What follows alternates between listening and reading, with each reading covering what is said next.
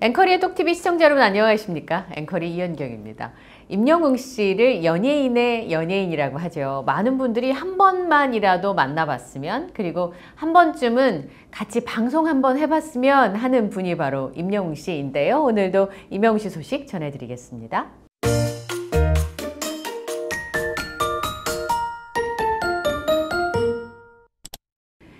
개그맨 유민상 씨가 SBS에서 배고픈 라디오라는 프로그램을 진행하고 있습니다. 근데 그 프로그램을 진행하는 동안 앞으로 꼭 부르고 싶은 게스트 4명 중에서 한 명을 임영웅 씨로 꼽았습니다. 유민상 씨가 꼽은 톱스타들은요, 방송 활동도 굉장히 뜸하지만 섭외 자체가 굉장히 어려운 사람을 꼽았었는데, 유민상 씨가 본인의 희망사항을 얘기한 겁니다. 그러면서 굉장히 조심스럽게 그분들의 의지와 상관없이 언제 나와주실 거냐고 방송에서 언급하고 있다.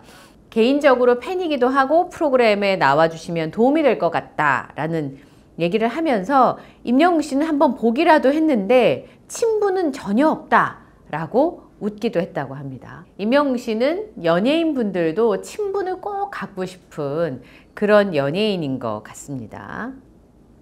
배우 김영옥 선생님도 널리 알려진 임영웅 씨 팬이시잖아요.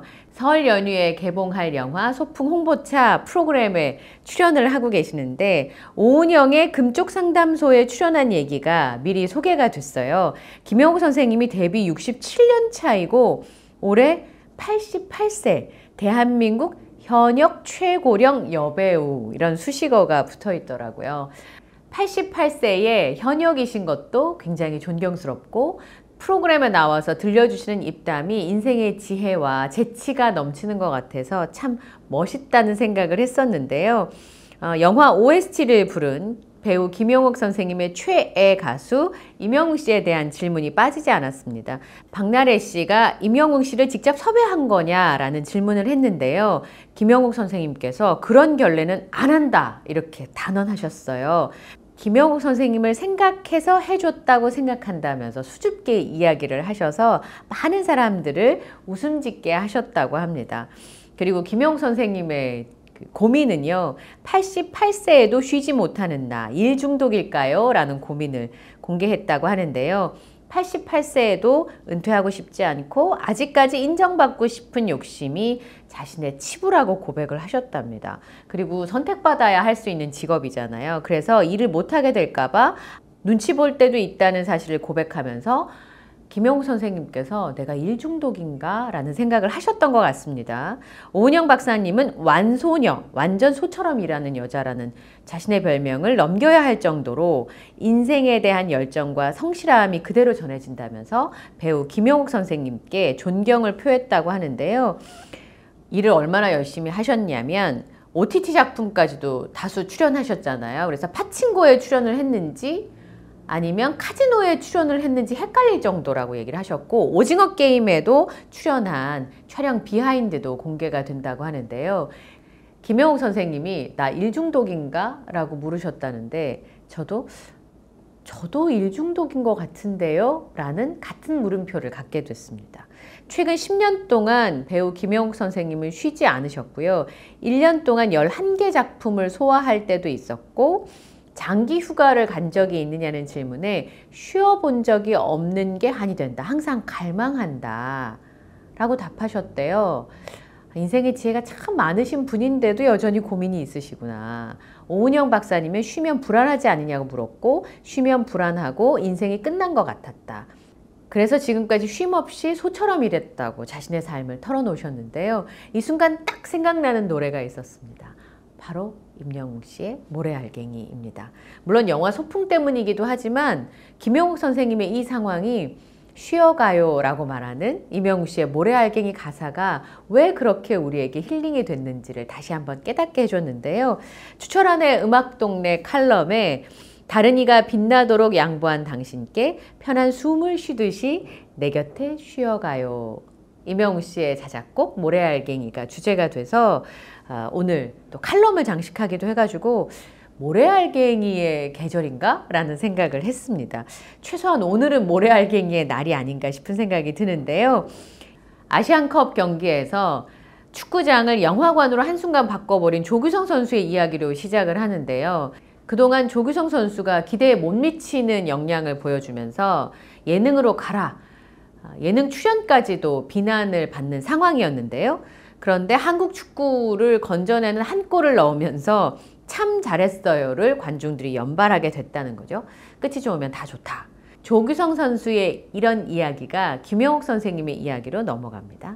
라디오에서는 주로 주인공을 도맡았지만 영화나 드라마에서는 거의 조연, 특히나 할머니 역할을 많이 하셨던 배우 김영욱 선생님이 영화 소풍에서 주연을 맡게 된 거죠.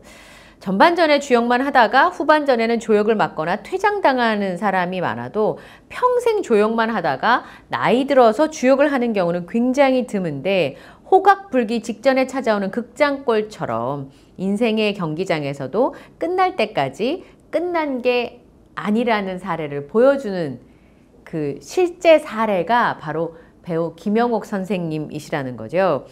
처음에는 모녀였다가 자매도 됐다가 이번에는 친구로 나온 남은희 선생님과 함께 말이죠. 유퀴즈에 나와서 그런 얘기도 했잖아요. 명 짧은 사람은 도저히 만날 수 없는 60년 세월의 우정과 건강을 과시하는 모습으로 정말 쉼 없이 일하고 원 없이 연기했다는 말이 와닿는 두 분이시라는 거죠. 주철한 PD가 김영욱 선생님을 인터뷰한 적이 있었는데 굉장히 명랑하고 총명한 분이었대요. 옛날에 금잔디란 드라마에서 치매 노인을 실감나게 연기했는데 그 이후에도 여러 드라마에서 아주 탁월한 모습을 보내줬었고요. 그리고 김영욱 선생님이 할머니 역할을 많이 하셨는데 한때는 욕쟁이 할머니더니 지금은 귀여운 할머니 역할을 많이 하고 있는데 만약에 천국에 가서 입학사정관을 만난다면 주인공을 자주 한 사람보다는 조연을 많이 한 사람이 더 좋은 점수를 받을 것 같다는 상상을 한대요. 스스로 빛나기보다 다른 사람을 빛나도록 양보하고 조력한 덕분이라고. 그러면서 천상병 시인의 아름다운 이 세상 소풍 끝내는 날 가서 아름다웠더라고 말하리라. 귀천을 인용합니다. 소풍날엔 숙제검사, 복장검사를 안 하는 대신 보물찾기를 하는데 김영옥 씨는 이번 소풍에서 노래의 보물을 찾았는데 노 배우의 한결같은 팬심에 아티스트 임영웅 씨가 모래알갱이 노래로 화답했다는 겁니다. 그렇게 편한 숨을 쉬듯이 언제든 내 곁에 쉬어가요. 언제든 내 맘에 쉬어가요. 참 넉넉한 가사죠. 사랑은 사랑의 손을 내밀고 진심은 진심에 응답한다. 마지막 문장에 마침표를 찍었는데요. 임영웅 씨의 모래알갱이가 들으면 들을수록 사람에게 큰 위로와 힐링을 주는 그런 곡인 것 같습니다. 그런 면에서 영화 소풍과 임영웅 씨의 자작곡 모래알갱이가 굉장히 닮아 있는 구석이 있었던 것 같습니다. 김영균 감독께서도 임영웅 씨의 모래알갱이와 높은 싱크로율에 굉장히 소름 돋았다는 인터뷰를 했었는데요. 어, 절친이자 사돈지간인 두 친구의 이야기가 소풍 안에 그려집니다. 60년 만에 함께 남해로 돌아가면서 여행을 하면서 16살의 추억을 마주하는 이야기인데요. 실제로 김영균 감독님이 어머니와 또 장모님, 장인어른을 차례대로 떠나보내면서 이 소풍이라고 하는 영화에 굉장히 끌리셨던 것 같습니다. 이 영화를 왜 했냐고 물었을 때 제일 먼저 떠오른 게 부모님이셨대요. 장인 장모님이 어머니보다 훨씬 젊으셨고 건강하셨는데 갑자기 암 투병을 하게 되셨고 장모님이 먼저 돌아가시고 6개월 있다가 연로하신 어머님이 돌아가셨고 또 6개월 있다가 장인어른까지 보내시게 되셨대요. 병원에 가고 간병하고 장례하고 그런 사이클을 반복하다 보니까 정신없이 보내기도 했고 공황 상태가 오기도 하셨대요. 어, 자식이 태어나면 어른이 된다고 하지만 부모님이 돌아가시는 순간 내가 정말 부모가 되는 느낌을 강하게 받았고 그 변화를 겪고 나니까 그때의 마음들이 굉장히 강렬하셨던 것 같아요. 그래서 소풍에 끌렸던 것 같다고 얘기하셨습니다.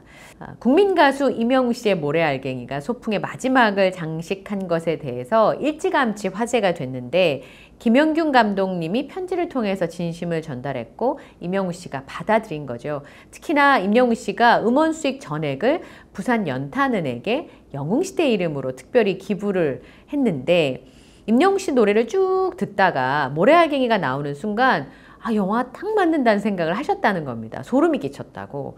우리 영화를 위해서 써주신 것처럼 싱크로율이 높더라. 연결고리는 나태주 시인이었던 것 같다고. 임영웅 씨가 어머니, 할머니 팬분들의 마음을 헤아리는 데다 나태주 시인의 시집에서 영감을 얻었다 보니 출발이 비슷했던 것 같다고 하셨어요. 하지만 꿈 같은 일이라. 베테랑 영화 감독에게도 임영웅 씨의 노래를 영화에 그 흐르게 하는 것 자체가 꿈 같은 일이라고 표현하셨어요. 하지만 꿈 같은 일이라 어떻게 접근해야 하나 고민을 하다가 이메일로 우리 영화는 80대 이야기고 모래알갱이가 80대의 마음을 잘 표현해 주는 것 같다. 불가능한 거 알지만 한 번만 생각해 봐 주시기를 간절하게 바란다 라고 진솔하게 썼는데 꿈 같은 일이 벌어진 거죠. 여기서 이 순간 임영우 씨가 하는 말 생생하게 꿈꾸면 이루어진다라는 말이 생각이 나더라고요. 아울러 처음부터 돈을 많이 받을 생각도 안 했고 그건 기부해야겠다고 했었다는 겁니다. 기부를 지속적으로 하는 분이다 보니까 급이 다르다 싶어서 깜짝 놀랐다. 이렇게 표현을 했어요. 그러니까 처음부터 기부를 할 생각을 하고 있었던 거고 기부를 지속적으로 하는 분이다 보니까 급이 다르다 싶어서 깜짝 놀랐다. 라는 감탄사. 김영균 감독과 함께 작업했던 배우분들이 얼마나 많으시겠어요? 영화를 하면서도 영화판에서도 정말 많은 분들을 만나셨을 텐데 임영웅이라는 아티스트를 보고 깜짝 놀랐다. 급이 다르다. 이런 표현은 참으로 와닿는 표현이고 임영웅 씨를 최애로 둔 팬분들한테는 정말 뿌듯함이 되는 표현이 아닌가 싶었습니다. 어, 임영웅 씨가 어머니, 할머니 팬분들의 마음도 잘 헤아리지만 모든 사람의 마음을 잘 헤아리는 것 같아요. 그래서 곡을 쓸 때 그 가사가 많은 사람의 마음을 잘 읽고 그리고 그것을 이렇게 표현해 주기 때문에 모래알갱이라는 곡이 탄생하지 않았나. 젊은 분들도 저희 집에 있는 10대 꼬마마저도 이 노래 처음 들었을 때 마음이 편안해진다라는 얘기를 했었거든요. 잠도 잘 온다고 노래를 들으면서 자면. 그럴 정도로 사람을 위로하고 치유할 수 있는 힘이 이명웅 씨 노래에 있는 것 같습니다. 영화 소풍 시사회 끝나고요. 관객들의 반응을 보니까 그런 얘기들이 되게 많았습니다. 자식보다 친구하고 이렇게 소풍 나들이 하는 게 좋았다. 우리 살아가는 평범한 이야기를 이렇게 리얼하게 새삼 가슴에 와닿게 하는지 감동이었다라는 반응들도 있었고요. 머지않은 나의 미래 같기도 하고 어머님한테 부모님한테 못했던 게 반성이 좀 되고 연휴에 손잡고 와서 같이 봤으면 좋겠다. 또 자식 세대, 어머님, 부모님이 다 함께 보면서 공감할 수 있는 영화이고 노래에 대한 리뷰가 있었어요. 이미 감정이 충분히 올라와 있는데 임영웅 씨의 모래알갱이를 듣는 순간 확 감정이 이렇게 쏟아졌다라는 표현이 있었는데요. 저도 진짜 그랬거든요. 내 마음에 쉬어가요. 내 곁에 쉬어가요. 이 가사가 정말 이 영화를 보면서 들으면 확 더 와닿는 순간들이 있었습니다. 임영웅 씨의 노래에 정말 많은 것들이 담겨져 있었구나. 그래서 임영웅 씨의 노래를 듣는 장소와 시간과 상황이 어떠냐에 따라서 여러 가지 감정을 느끼게 해주는구나. 그래서 아마 임영웅 씨 노래는 듣고 또 들어도 질리지 않는다. 이런 평가들을 하시는 게 아닐까요? 임영웅 씨 노래를 여러 장소에서 여러 상황에서 듣게 되잖아요. 어, 최근에 아시안컵에 임영웅 씨의 두올다이가 계속 흐르면서 젊은 남성 팬들이 임영웅 씨에 대해서 다시 한번 생각하고 기억나게 하는 순간이 되는 게 맞는 것 같습니다. 우리 구독자님께서 우리 가수 위상이 많이 달라진 것 같다고 글을 보내주셨어요. 젊은 손님들이 오셔서 아, 식사를 하셨대요. 이분 가게에서. 근데 텔레비전에서 두올다이가 나오니까 어디서 많이 들었는데 하셨다는 겁니다. 그래서 이분께서 어제 축구를 보셨냐고 질문했더니 맞다고 하셨다는 겁니다. 임영웅 씨가 저런 스타일의 노래도 하냐며 이제서야 임영웅 씨 노래인 걸 알았다고 답을 하셨다는 겁니다. 그러니까 그만큼 임영웅 씨가 굉장한 반전을 이 노래를 통해서 줬다는 거죠. 그래서 1집 앨범을 선물을 하셨대요. 구독자님께서 이 귀한 걸 주시냐며 몇 번을 인사를 하시더니 나갈 때 손님들끼리 임영웅 씨 앨범을 선물 받다니 하면서 다시 한번 감사하다고 인사하고 가셨다고 합니다. 이젠 임영웅 하면 귀한 사람이라고 생각하는 듯해서 너무너무 기분이 좋다고 저한테 메시지를 보내주셨어요. 위상도 달라지고 저는 이 마지막 문장이 너무 좋았어요. 귀한 사람. 귀한 사람으로 여겨준다는 거잖아요. 팬분들의 입장에서 이만큼 좋은 표현이 있을까? 김용균 감독님의 표현처럼 클래스가 다른 사람, 급이 다른 사람으로 이제 다들 인식하시는 것 같아서 무척이나 반갑고 귀한 뉴스였습니다. 구독, 좋아요, 알림 설정을 부탁드리고요. 저는 이제 다음 영상에서 인사드리겠습니다. 함께 해주셔서 고맙습니다.